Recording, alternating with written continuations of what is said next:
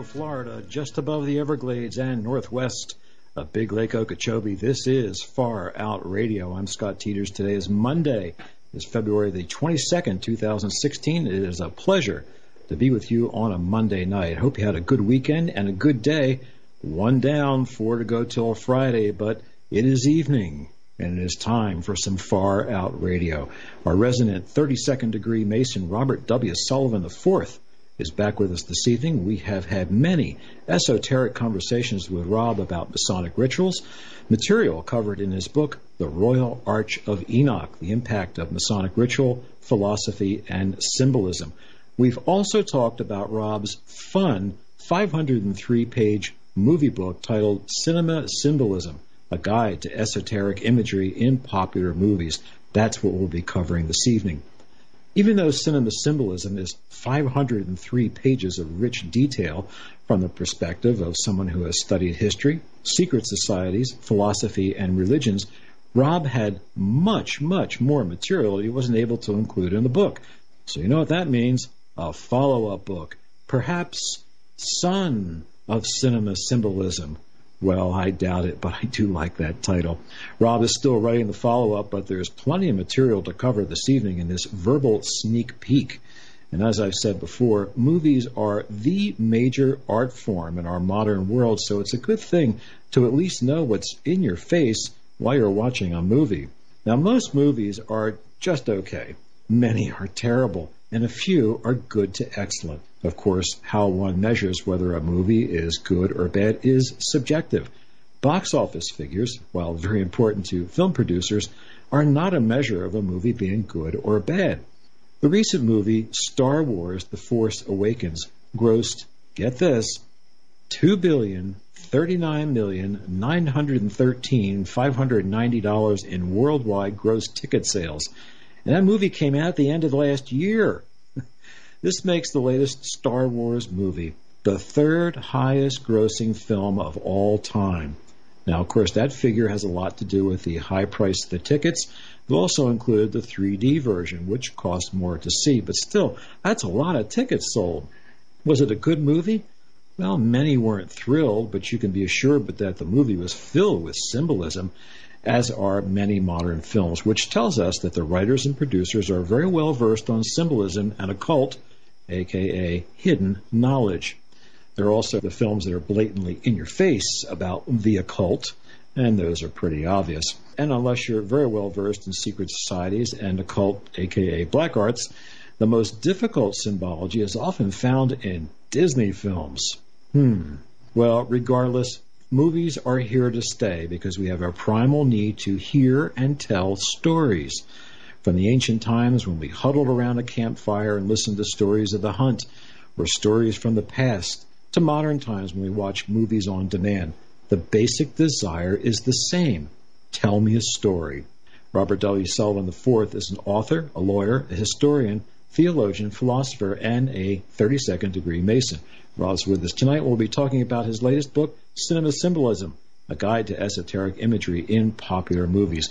Rob's first book, The Royal Arch of Enoch, The Impact of Masonic Ritual, Philosophy, and Symbolism, is even bigger than the cinema symbolism. It's 690 pages. But if you're going to tell a story about the Masons, it's that complicated, really. Uh, and I would suggest that when the book goes into its second printing, that Rob includes a big fold-out flowchart. It would really help. Both books are available at Amazon.com in print and in Kindle format. And you can follow Rob's work at his website, Robert W. Sullivan IV. That's Robert W. Sullivan IV, IV for the fourth, dot com. Rob, welcome back to Far Out Radio. Hey, Scott. Thanks for having me on. That's a fantastic introduction. I really appreciate it. Uh, it's great to be back. I think the last time I was here was, what, back in October or so. And, um, yeah, I mean, it's great, great to be back. Uh, thanks for having me on. Much appreciated. Thanks. This is fun stuff. I mean, I, I think the first time I actually sat down or lay down on the floor as a little kid and watched a movie, I was about, about five or six years old. And uh, it was really kind of a, I guess in retrospect, it's kind of a surreal experience. Um, that you know, I think one of those early movies was The Day the Earth Stood Still. That's a pretty good way to get started.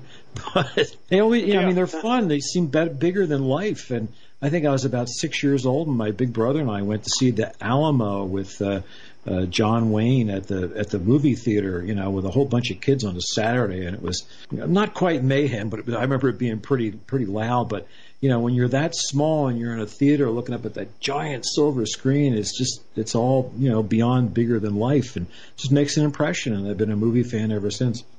No, uh, yeah, I mean, me too. I, that's exactly right. Um, I, I, I have, um, uh, you know, I, I really be lying if I can remember the uh, first movie I saw, but I remember at some point, and this was very early on. I remember going to see. Um, this was in the theater, of course. This was in the in the 1970s. Um, this was the original um, universal horror, or you know, universal version of, of King Kong. You know, the one with Fay Wray. Um, you know, where the giant ape winds up on the top of the Empire State Building. This was like in the 30s or something. I mean, this was obviously a re-release or you know, redistribution in the 1970s. Um, but but I actually saw it in the theater. Um, and yeah, I mean, it, it, it's like you know, you're a kid, you're looking up at this giant screen, seeing this giant, you know, you know, monster running around. Um, yeah, I mean, it, it leaves an it, it leaves an impression. Um, and I remember just growing. I'm, I'm here in Baltimore. I just remember. Um, you you know, having these very fond memories um, of, of pre-cable days. Um, you know, of I, I, here in Baltimore, I, I imagine this is pretty much everywhere. Um, this was obviously before cable TV. We had a um, a, a show on here um, that came on the um, on one of the channels. It was you know the midnight Saturday night monster rally show. um, you Fun know, stuff. Uh, Chiller Theater. Yeah, exactly. This we had the the one here in Baltimore was called Ghost Toast, and and they they they reran all the all the you know Universal horror movies. You know with Lugosi and Karloff, and then they got into some of the ones from the 60s with Vincent Price. And I just remember being very, very taken with those. So yeah, I mean, I was a uh, movie fan from from the very start. That uh, King Kong movie with uh, the original one used stop motion animation for the King Kong uh, sequences. You know, when you actually got to see the ape, and it it's mighty impressive. You know, for 1930, what was that? 1933, somewhere somewhere back there. Something like that. That's right. Yeah. And if you know anything no, about no, that's stop right. I motion, always, yeah. No, go ahead. if you know anything about stop motion animation, that's stuff that nutters do. that is so tedious. Yeah, I remember. Um, I remember watching that, and there was the one scene that I always that always stuck with me. It was the scene, in, you, you know, with the stop motion, um, and it's the scene where King Kong, I think, fights the giant serpent in that. Um, and that, that was always, I thought, you know, for the time, you know, like you said, even back then, that was that was very well done. And and uh, you know, that that was just one that I I, I I couldn't come on and swear that that was one of the first movies I. I mean, it was it may not have been the first movie I saw, but it was one of the first ones that I saw in a theater. Um, and you're right, it, it just uh, left an impression with me. Um, and then again, watching the old horror movies, and then at some point in the 1970s, I was still a kid. Um, I remember, uh, you know, and again, this is pre, you know, you know, HBO, Showtime. This was when there was only three or four stations, you know, on, on the TV. And I remember at some point in time, right around the same time frame, um, watching. This was my introduction to um, the Western movie. Um, and the first Western movie I watched was the um, spaghetti Western, the Sergio Leone, Good, the Bad, and the Ugly. And I mean, and this was to me like the greatest movie I'd ever seen in my entire life. I mean, I just was so, so impressed. I mean, I'm watching this thing like, my God, I mean, this is, you know, as a kid, I mean, you got the three, you know, you got the three, you know, archetypal, you know, characters, the treasure hunt, the gunslinging, uh, the bad guy, the guy who's sort of neutral, the good guy. I mean, this was like the greatest movie that I ever seen. Um, and I'm pleased to announce that when we, with Cinema Symbolism 2, um, I'm doing a whole chapter on these, uh, archetypes coming out of the Western world, uh, the Western movies. Um, some very powerful imagery there as well. But the good, the bad, the ugly was another one that really stuck with me. That was so popular at the drive-in theaters. That, what are we talking about? Drive-in theaters? Yes, folks, younger Yeah. folks. You actually would get in your car, and they charge you so much per carload, I think. Uh, and you went to this great big parking lot with uh, the asphalt was had a wave to it, so that the closer you got up to the screen, the more your car was tilted up, so that you could better see the uh, the screen. And you watch these movies in the comfort of your car. Yeah, that's Fun right. stuff. And uh, yeah, I mean, and uh, I remember um, that that predates me a little bit, but I remember certainly um, watching uh, when TV was just you know four to five channels, um, and that was it. Um, and you know, you know, you you were held hostage. I mean, not held hostage, but you know, you you whatever they showed, that's what you watched. Um, and it wasn't like, oh, I can, you know, I want to go watch Bela Lugosi's Dracula or The Mask of the Red Right. Death. You know, I could just go, you know, rent it on Blu-ray or Netflix or something like that. You know, or pull it up pull it up anywhere, DVD or VHS. You know, you, you know, you had to wait for it to come on, and then even when um, cable TV came around, you were still somewhat limited. They they showed you what they wanted to show. Um, sure. And then even with VHS tapes came around in the early 1980s, I mean that took a while for a lot of this stuff to you know become become launched, um, to, to, to come out. Um, so yeah, I mean it, it, it really probably wasn't until the early 1990s, you know, in the advent of DVD, where now this stuff is just readily you know available with the you know touch of a fingertip, you know, with a computer or Netflix or, or you know you want to buy it on DVD or Blu-ray. I mean you know it's it's, it's out there. You know you, know, you pay you pay a certain price for it, and you can just have it. But you know I remember the day you know when you know if, if you know Bela Lugosi's Dracula was coming on, or the Black Cat, or the Raven. Um, I mean you stopped what you were doing and sat around the TV set and watched it with commercials, and you know I mean it was just it was just a great experience, and uh, you know you don't you, it's a time long long forgotten. Of course, the commercials were just the perfect excuse to go get some more Coca-Cola and another bag of potato chips.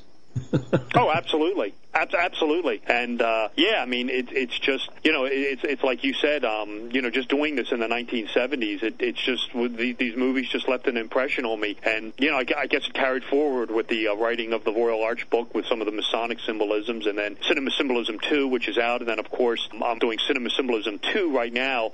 Probably, probably, you know, we we'll get into that. Um, I would say Cinema Symbolism 2, as we speak tonight, is probably around 80% done. It's coming along very nicely. And and I'm real happy with the way it's come out. I, alas, and I knew this was going to happen. It, turned out about a couple months ago. I was writing and I just started looking at this, and uh, this is what happened in cinema symbolism. And I, I'm just looking at cinema symbolism too. I'm just thinking to myself, you know, again, there there is just no way that I can incorporate all these movies that I want to talk about. This book will go on forever. So as it turns out, I actually had to excise some some movies out of cinema symbolism too, which hopefully, um, you know, which I, I guess I've begun outlining cinema symbolism three. That's probably still a ways off, but um, you know, again, I, when I was doing cinema symbolism, probably happened a couple months ago. I'm just looking at the chapters. I'm just looking at the movies. I'm thinking to myself, you know, I mean, if, if I if I do this, I mean, this will be like a thousand page book, and it'll just go on and on forever. So I cut out some of the movies that were originally going to go in Cinema Symbolism two, put them in Cinema Symbolism three when I get around to that. But uh, I, I can report that Cinema Symbolism two is coming along very nicely,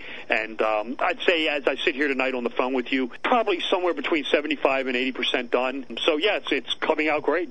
Well, you got a great little franchise going there, and, and I hope it runs on. I hope you get a really good long run out of it. So, have you seen any good movies lately?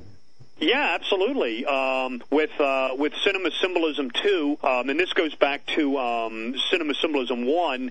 When I did Cinema Symbolism one, I did the uh, three Lord of the Rings movies um, with with J.R.R. Tolkien.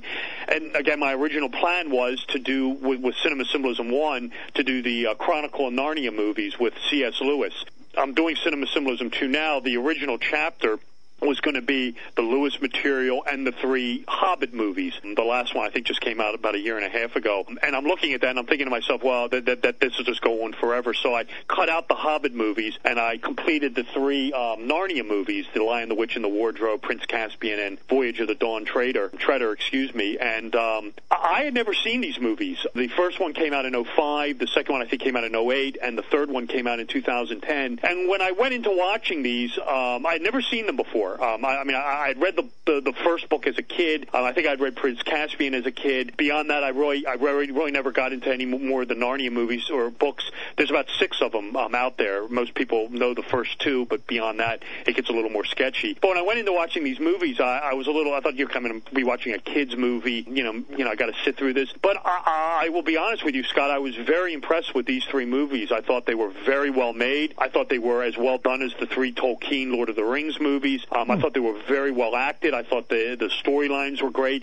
I, I loved the veiled imagery in them. Um, I was impressed with them. Um, I, I thought they were moving. I mean, I, I thought at some points in, in the movie, you know, I, I got the message that they, they were able to be moving without being campy or corny. So I would say, you know, if, if a person has not watched the three Chronicle of Narnia movies, these were the ones based on the C.S. Lewis stories. You know, you know, definitely check them out. I, I was very impressed with them. I, I thought I thought they were um, very well done. I got the chapter done. I, I've completed it, um, the the esoteric breakdown um, of those three movies. And uh, again, you know, I, I was very um, you know impressed with those with those three films. One movie that we saw recently that, for me, or actually for us, was a real surprise. It was titled Nightcrawlers with Jake. Yeah, this was the one I haven't Gyllenhaal. seen it yet. This was the one about. Is this the one about the photographer or whatever?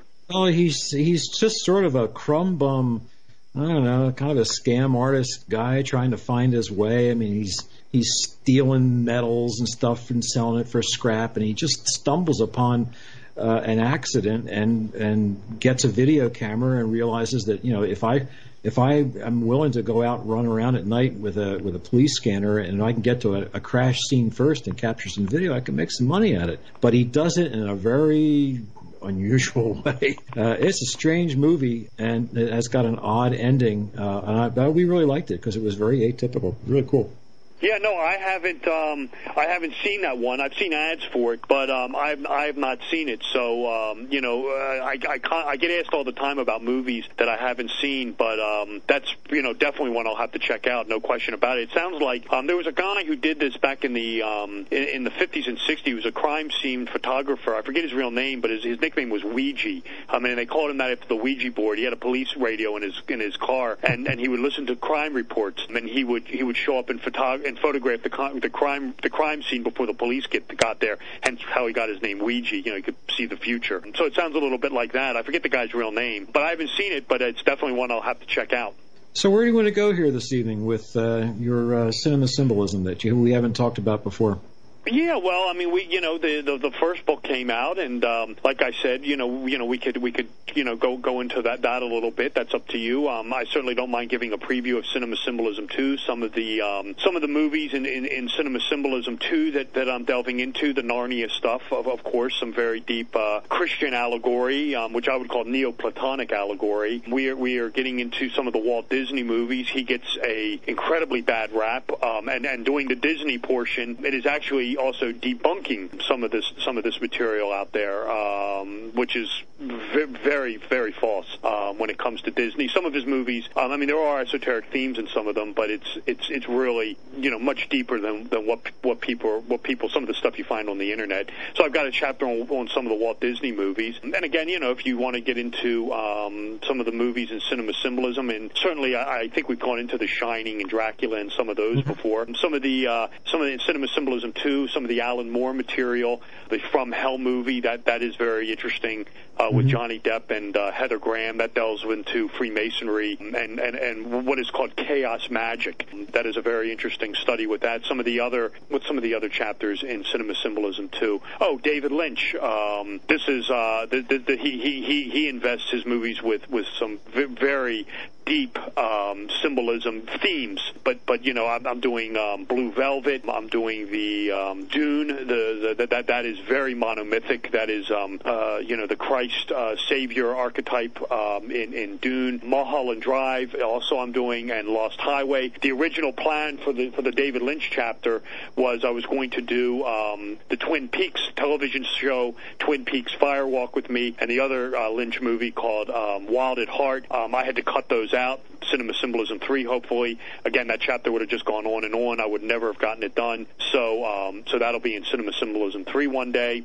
The David Lynch material, certainly Walt Disney. Um, I am I am redoing. Um, I'm doing horror movies again. Um, this time in in Cinema Symbolism 2, we are focusing on some specific horror movies. I did this in Cinema Symbolism, but I had some very just themes in Dracula, with Frankenstein, with Wolfman. I got into some of the more modern movies, but in Cinema Symbolism 2, we're going to get into some very specific movies, such as um, Suspiria, that has some some very interesting uh, imagery in it. The Shining, I, I am really breaking down that hardcore in, in Cinema Symbolism 2. The Jacob's Ladder movie, this was a movie by Adrian Lyne that came out in 1990. Some very alchemical um, themes going on, on in that one as well, uh, Transition of the Self. So these are some of the movies in Cinema Symbolism 2 that I, am working on. I, like I said, I would, um, the Chronicle of Narnia stuff with, with C.S. Lewis. Also, um, so yeah, I mean, like I said, it's probably around 80% done. Other movies um, that, that in that, uh, the Gangs of New York movie with Scorsese, um, some very deep religious allegory in, in that one as well drawing a blank on some of them, but just just uh, a lot of brand new movies, probably around 80% done right now, and um, coming along very nicely. Well, you got a terrific format. We got our music playing in the background, so we're going to take a commercial break. I'll tell you what, sure. on the other side of the break, uh, dispel a few of these erroneous notions about the Disney films, if you will. Let's spend a little bit of time on that because uh, uh, Disney films, uh, you know, really get uh, kicked around. Uh, I've heard a lot sure. of the criticisms. I'm not so sure about them, but let's have your take on it. So we'll do that on the yeah, other absolutely. side. Absolutely.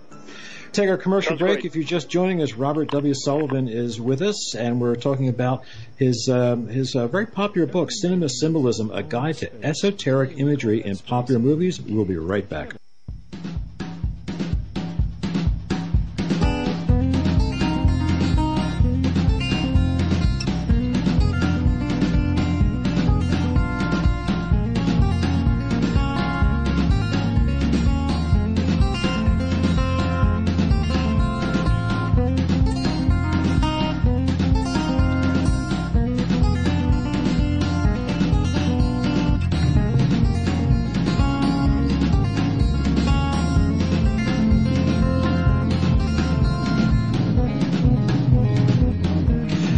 Welcome back to Far Out Radio on a Monday night. If you're just joining us, Robert W. Sullivan IV is back with us. We're talking about his very popular book, Cinema Symbolism, A Guide to Esoteric Imagery in Popular Movies. And you can keep up with Rob's work at his website, robertwsullivan4.com. And it's uh, the fourth is uh, spelled out IV, Roman numeral style. All right, Rob, on the other side of the commercial break, I, I said let's dig into some of these uh, Disney films. It seemed that in the 1980s they, they produced a, a lot of very dark, storied films, and these are generally marketed to children. Yeah, I mean, um, the, with with the Walt Disney material, and again with this, I, I narrowed it down when I was doing this to some of the more, uh, you know, iconic Disney films. Um, I took on, um, but I, I did do some some of the modern ones. I did uh, Sleeping Beauty and Maleficent, which with the Maleficent movie with um, Angelina Jolie. Um, that had some very veiled imagery in this, um, in, in that as well. Sleeping Beauty does too, but Maleficent with Angelina Jolie does as well. I did the Cinderella and Snow White stories. The, these two, um, the, these stories come out of the Counter Reformation. Uh, Disney, there's a couple things that are out there with Walt Disney that are just false when, when it comes to this. Uh, uh there, there's a body of thought out there that a lot of this material that is, is of Disney's own creation. Um, this is false. Um, Snow White, Cinderella, Sleeping Beauty, these are fairy tales coming out of the world of, uh, you know, Charles Perrault, um, the Brothers Grimm, you know, being reinterpreted by him years later. So, so that, that is, uh, somewhat e- erroneous. And, and there is another thing out there, um, and, I, and I, I, you know, I, I hear this all the time and it's just absolutely not true, is that, and even if it was true, it wouldn't bother me, but that Walt Disney was a Freemason. He is not. Walt Disney is not a Freemason. Um, um, there, there is absolutely no evidence that um, Walt Disney um, ever became a Freemason whatsoever. He was in a group called DeMolay. Um, and if you're not sure what that is, that is a, and he, and he took it very seriously. Um, is a group, um, is, is basically what you would call the Masonic Boy Scouts. It is a, it is a youth, it is a youth organization run by Freemasons. It, it, that's exactly what it is. It's the Freemasons version of the Boy Scouts. It's called DeMolay. Um, now he was in that, but certainly that does not make a Freemason. Um, and evidence that one of the one of the things that people point to with, with Disney is at, at Walt Disneyland. I think it, it's at is is there's a uh, Club 33, and this has always been said. Oh, this is the 33 degrees or whatever. I mean, I it does sort of make sense. And he may have even have um, done that out of, out of an homage to the Scottish Rite. I mean, he was in DeMolay, so that's certainly possible. But the evidence suggests that it was um, he had 33 sponsors at the time, and that that seems to be all it was. When you get into some of the more darker stuff with Disney, the, the, the really the two movies that are kind of you know branded as children's movies that just really deal with some very dark themes are the two Witch Mountain movies. Um, these came out in the 1970s. Um, one is uh, Escape. What are they? Escape Escape to Witch Mountain and Return from Witch Mountain. These movies had some very dark imagery in them. Uh, you know, you know, some some very mature imagery, very mature themes that are hidden under the theme of of a Disney movie or of a children's movie. That that I that is absolutely true. Another bad rap against Disney um, is Fantasia, and and I, I just have recently watched that, and and you know he he gets beat up for the night on Bald Mountain portion of that, which is, you know, um, no no running away from it. I mean, is this sort of satanic? Well, it is know, the sorcerer. Uh, anima- Yeah, animation. Well, well, the the the, the um, it's funny you mentioned that. If, if you watch Fantasia, it's eight segments. It's eight animated segments set to classical music. Um, the eight segments have nothing to do with each other. They're they're all right. standalones. Out of the eight segments, there are only really two that contain sort of veiled imagery. Um, the Night on Bald Mountain, um, which is twined with Ave Maria, and the Sorcerer's Apprentice, which has some hidden imagery in it as well. You know, with with Mickey using the sorcery to turn the broom into a golem uh, to do the chores with the water and whatever. By and large, um, you know, when, when you're looking at the Walt Disney material, I mean, he really gets beat up. Um, he re- he really gets beat up in the world of conspiracy. I, I I think a lot of it is, you know, when you start breaking it. I mean, I think there's esoteric imagery. There's a lot of esoteric themes in it, but I, I don't see it as evil or malignant or mind controlling or anything like that. And certainly when you see it and you you view it in the context. So I mean, like for example, with Snow White and Cinderella. I mean, when you view those fairy tales in the in in, in the context of when they were produced, you know, the archetypes, you know, of the Counter Reformation, it sort of makes sense as to what's going on in those. And that's certainly what I tried to do in Cinema Symbolism too, was sort of rationally explain some of the symbolism going on in, inside these movies. Another movie that I took on, I'll just get into this real quick, with, with Walt Disney was, um, and this was probably the most modern one um, that I did, and think, well, Maleficent aside, was The Lion King, um, which I think came out in 1994. And again, you're dealing with a lot of um, Neoplatonic, you know, you know, the Lion King, the Sun King. You know, we're getting into the Osirian mythology, you know, of, of the of the sun being betrayed by the darker figure, you know, and the and the and then the sun you know, avenging the father. This is Osiris, Set, Horus, you know, which is Mustafa, Scar, and uh, Simba in, in The Lion King. So, so we have the uh, Egyptian mythology going on in, inside of Lion King. I mean, it's great stuff. I, I really enjoyed breaking it down, and I, I, I, the, the Disney chapter I, I know will not disappoint. There is some other very esoteric imagery going going on with Disney, and some some some hidden themes, uh, things like that. But um, I, I, I, I really, looking at it, I really found no evidence of some sort of evil Illuminati mind controlling themes in his movies. Well, on Fantasia, what's there not to love about the dancing ballet hippos? You know? Oh, absolutely. it's just so sweet. However, I, I think a lot of this criticism uh, of the Disney films started to pile on in the 80s because they they produced a whole bunch of movies you know, and every time you go to the movie theater and there's a preview, it's you know the Wonderful World of Disney, and it's like, oh boy, you know, and here's Mickey and all this stuff. But some of the movies that they produce under this umbrella of Disney magic are, are very intense. Things like Something Wicked This Way Comes, uh, The Haunted Mansion was uh, pretty intense for these are marketed to small children. Uh, there was another one titled The Tower of Terror. Uh, there's another one called The Black Cauldron. Uh, you know, and some, and I, oh, the other one was uh, Watcher in the Woods with Bette Davis, and these are marketed to children, and these are just very intense, intensely negative stories. So I, I think they caught a lot of flack for that. Plus, you know, you you can't every Disney movie that comes out, or every Disney movie that's in production, at least two years, year and a half to two years before it comes out, every toy company is bidding on it to get the toy contracts. I know this. I used to work for a toy company you know, and they were always trolling and waiting for the next Disney uh, uh, material to come out. So you've got that kind of uh, materialism and the heavy marketing thing, and and when the movies come out, the stuff's just everywhere, and the kids go bonkers over it. And a lot of times, these are oh, not yeah. children-friendly movies. Yeah, I mean, I think I think some some instances with this with with what you're talking about. I mean, I, I certainly found this in the Witch Mountain movies, um, and especially the sequel, um, which was um, Return from Witch Mountain. I mean, that that has some very. I mean, this was a movie that was marketed to children. I mean, this has some very dark themes in it. Some sometimes I, I am led to believe that that some of these these more mature themes are somewhat aimed at the adult. I mean, in in the end, the adult is sitting next to the child, so I I think to some extent, um, that that may provide an explanation. And I know in, in some instances when it when it comes to Disney, whether you like it or not, I mean, I know in in you know there these, sometimes there are these little subliminal images going on um, in in the background. I know in in Lion King, and it, it's hard to see, but it does appear there. And and you know this this is been a bad rap. People say, "Oh, this proves, you know, this is a sex cult or whatever." In Lion King, there's a scene it's really hard to see. You can't even see it unless you're really looking for it. I mean, you basically have to pause. You have to basically have the the movie on DVD or Blu-ray and pause it to see it.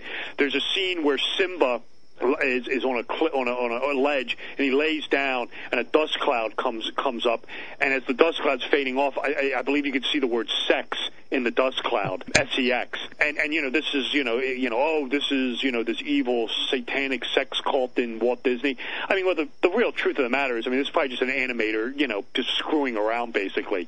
Um, just trying to you know yeah exactly. They'll they'll do that. But it's next to impossible to see. I just was watching The Lion King the other day. So I mean, you know, but but when it comes to what you're talking about, I mean, I, I don't really dispute that. I mean, it, it has caused in some instances, you know, this negative reputation. I mean, the one, the, the Witch Mountain movie, the sequel. I mean, that that has some very, very, very dark imagery in it, where the one kid who has magical powers is abducted. Um, he's mind controlled by by the, the Christopher Lee villain. Bette Davis is in in this one also, and and Christopher Lee mind controls him, and while he's mind controlling him, I mean, he tries to have him kill his sister. He tries to he have a, a nuclear reactor meltdown. I mean, you know, very mature, you know, cata- you know, catastrophic themes, and this is geared for children.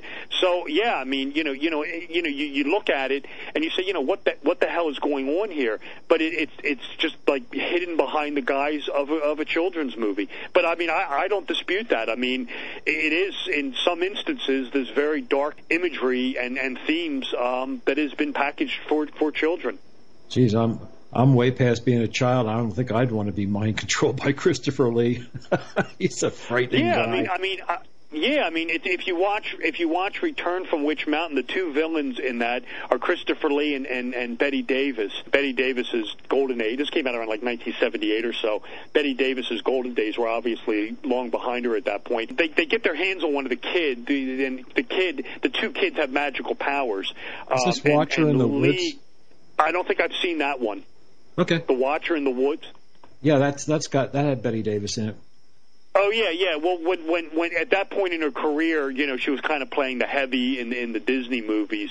Um, mm-hmm. I think she was in another one too. It escapes me right now. But just to wrap up, yeah, I mean, if if you ever watch um, Escape from Witch Mountain, which is the sequel, and you take your goggles off that this is a kids movie, um, you're going to find some very very dark esoteric themes and imagery um, going on inside that movie. When my daughter was about four or five years old, uh, we decided to take her. Her mom and I decided to take her to the to the movie theater. You know, she'd seen movies on our you know vi- videotape of movies, but you know, we oh let's take her to the movies. Benji the Hunted is out. It's a Disney film. So they sat down, they got their seat, and I went off to get the popcorn, the soda, and the chips. By the time I came back, poor Benji, within two minutes, was involved in a shipwreck he got washed ashore on a strange island. He was almost attacked and eaten by a by a, a, a, a tiger or something. And by the time I sat down, all of a sudden my, my daughter's going, I don't like this movie. This is a bad movie. I want to get out of here. So, yeah, I mean, I mean, mom said, um, "Come on, we're going." Yeah, I, I mean, the, the, the yeah, I mean, you look at like Dumbo and yeah, and Dumbo and Bambi can be very depressing. But yeah, I mean, you know, it's it's it's you know, you, you know, you, you start looking at, but when you get into stuff like with, with that, you know, I guess, you know, you're looking at it as, well, it's going to have a happy ending and stuff like that. I mean, even Cinderella and Snow Oops. White, you, you know, had to fight off an evil stepmother, an evil, you know, godmother, whatever the one is in Snow White. The, the, I think it's a stepmother also, the evil queen. So, you know, in, in the end, it's, it's presenting a, you know, trial and a conflict they have to go through. But in the end, it does have a happy ending. I don't know if I ever saw the Benji movie. And, you know, it's funny with, with just yeah, with with just getting back real quick to the Witch Mountain movies, I actually saw um, those two in the theater. I actually, my mother and father took me to see the two Witch Mountain movies, and at the time as a kid, I never really, eh, eh, you know, I just kind of sat there and watched it and didn't really leave a negative impression with me. It wasn't until I was really doing the study, you know, and I kind of remembered those two, and, I, and those always, you know, I, I just remember I, those were two that I just always remembered were the two Witch Mountain movies.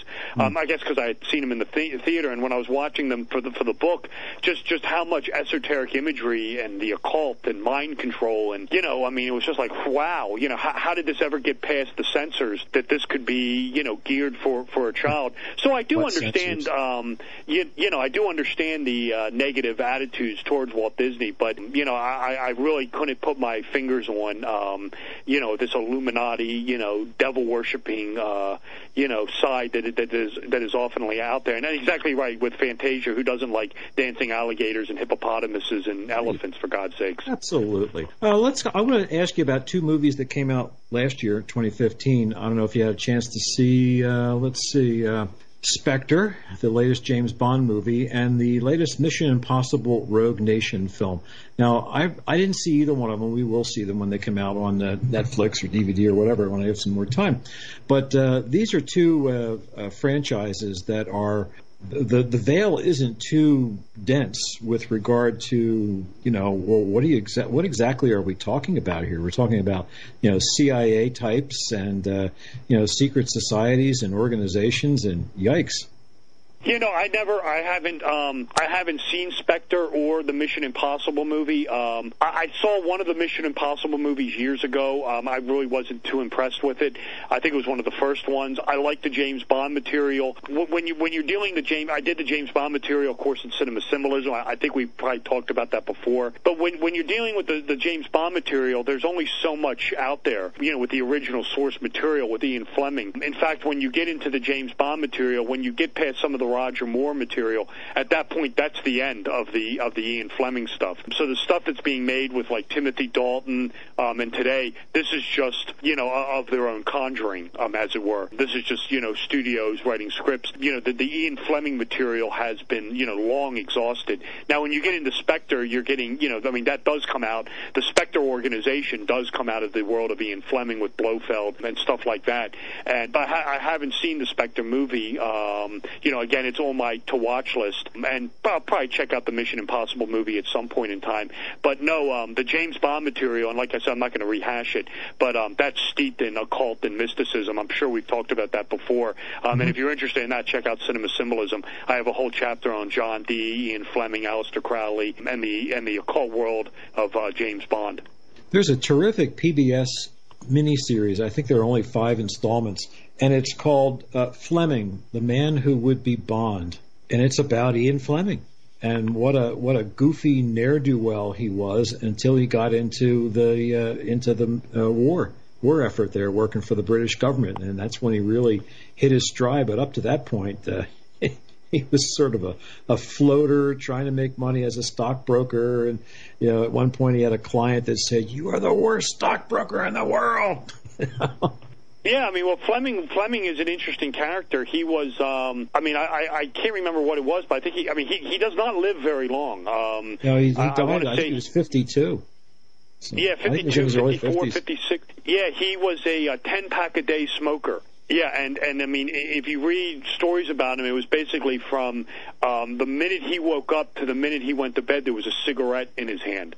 Um, yeah. And in fact, I don't think I've ever seen a photo of him without a cigarette in his hand. Um, just an incredibly heavy, heavy smoker. The James Bond books he wrote, um, they, some of them deal with uh, real life stories in the world, world, excuse me, in World War II. Again, we have the Aleister Crowley influence. We have the 007 with John Dee. We have a lot of hermetic esoteric imagery going going on inside those things. But Fleming Fleming was writing the Bond books for around eight or nine years, and it was really you know when the when the first Hollywood movies started to come out, you know, you know, he was working on those books. I mean, I think he'd written about ten of them before Hollywood took an interest in them. Um, and and right as the Bond global phenomenon sensation, you know, was taking off is when he dropped dead. And you know, I, I, he probably never really got to see the full fruits of his labor, but um, yeah, I mean he's an interesting character to say the least, and uh, yeah, I mean if you're if you like the James Bond stuff like I do, and especially the the Sean Connery material, you know, and even some of the Roger Moore, and just the back the background of the stories. I mean, some of the movies veer off of off of what you know off off of the stories. Um, I mean, like I know Moonraker, you know, where they take place in outer space, that has nothing to do with the Ian Fleming novel. The the the, the Fleming novel has Hugo Drax in it, but he's trying to revive the Nazi V2 project to level London. It has nothing to do with going into outer space or anything like that. But yeah, just just if you're interested in James Bond, definitely check out Cinema Symbolism. I have a whole chapter on the uh, what I like to call the occult world of uh, Ian Fleming. Fascinating stuff after watching that movie or that miniseries, Fleming, the man who would be Bond, I, I, got interested, a little more interested in Ian Fleming. Read a bunch of articles about him. Came across an interview with uh, uh, Sean Connery, and in the preface to the interview, it made the distinction that Sean Connery was not Ian Fleming's uh, first, second, or third pick uh, for uh, uh, James Bond. He wanted Stewart Granger. or and a couple other actors that you know were, were more box office, but apparently Connery was willing to work relatively cheap, you know, for for that kind of a thing. But Sean Connery eventually met Ian Fleming, and in an interview, he, of course, the interviewer said, "So what was he like?" And he said, "He was a total snob. He was an absolute snob. he didn't like me, and I didn't like him. Oh well." Yeah, I mean, um, yeah, I mean these guys. Uh, you know, a lot of these guys are very eccentric, of uh, you know, very odd. Um, you find this also just you know with um, Aleister Crowley. Um, he was the exact same way. Um, Crowley you know, he had this inherent character flaw. Um, I know of nothing else. I mean, again, you know, you know, I mean, he is such a hard character to pin down. You know, he he had this proclivity of just dumping on people who genuinely cared about him. And then you find it over and over again with Crowley that he constantly liked to destroy people who were really interested in what Crowley had to say and were really interested in Aleister Crowley's teachings. And for whatever reason, Crowley just always turned against these people at some point in time. I mean, he let him stick around for a little bit, and and he let him hang around, and he'd give him some instruction, and and you know, that but then for some reason, you know, he he would just turn against them and just just you know throw them under the bus. Um, in fact, one one of his I, I don't know the exact circumstances of this, but I believe one of his apprentices, a guy named um, uh, what's his name? Well, I, I, his name's escaping me. Um, well, one of his apprentices, a person who was very interested in what he had to say, uh, killed himself over this. Um, so you know, I mean, you know, and you know, Fleming, you know, comes out of this strange, you know, the strange world of British intelligence. But I mean, that that wouldn't that doesn't surprise me. That uh, you know, you know what what Connery says. I mean, I mean, by all accounts, you know, Fleming was a pretty eccentric character. Well, Fleming's family background was they were they were sort of like lower echelon society people. I mean, they knew how to dress, they knew how to speak, they knew which fork to use, and all that kind of stuff. But they, their position was a little on the lower rung. I, I don't remember exactly what the uh, what the connection there was, but he knew enough to behave in certain circles. But very much like the uh, the movie uh, Barry Lyndon, you're only ever going to go so far because you're not one of us is basically where where it came down to. So, but anyway, we got about a minute yeah. or so left. Anything you want to squeeze in here? Uh, you know, other films that you didn't cover in the first book that you uh, got into in the second book? Yeah, absolutely. Um, we're going to do. Um, we're doing a whole chapter on Alan Moore. We're doing David Lynch. We're doing um, the Western movies, um, the Good, the Bad. The, we're doing all three of the spaghetti westerns. Um, the Good, the Bad, the Ugly, Fistful of Dollars, Few Dollars More, The Magnificent Seven. Um, I, I'm doing the masculine archetype. Uh, really, the template is a movie with John Wayne called Red River. I'm doing all the Harry Potter movies in Cinema Symbolism 2, the Chronicle of Narnia stories. I have a whole chapter on Disney, Gangs of New York with Martin Scorsese. Um, that has some very deep religious allegory and, and really presents sort of what I call a lost history of the United States, which is very important. That that movie does a very good job of presenting that. We are getting. I'm going to do. Um, you know, when you get into this ancient mythology and these folklore, um, I have a whole chapter on Robin Hood. This is very kabbalistic. Um, again, we're dealing with archetypes um, coming out of uh, Kabbalah and Tarot embodiment. Um, we wow. are. Re- I'm revisiting revisiting. I am revisiting um, some of the alchemical storylines of Black Swan. Um, it's again, it's about 80% done. I'm also working on a work of fiction. So check out my website, robertwsullivan.iv.com. And thank you, Scott, will, for having me on tonight. I, I, I will keep checking show. it out. I will keep checking it out until the movie is out and or the book's out, and then when the book's out, we'll have you back on again. Absolutely. All right, terrific. Rob, thanks a lot. Always a pleasure to talk to you. Take care. That is our program for this evening. Thanks for being with us on a Monday night. Coming up this coming Tuesday or Friday night, our pal Dr. Bernie Suarez will be with us. Bernie is uh, he's a critic of uh, social media and the mainstream news media, and uh, with the way the media has been behaving with this presidential election. Dr. Bernie and I will have lots to talk about. It's a very rich subject. Have a great week. Take care. Be well. And we'll be back on Friday with more Far Out Radio.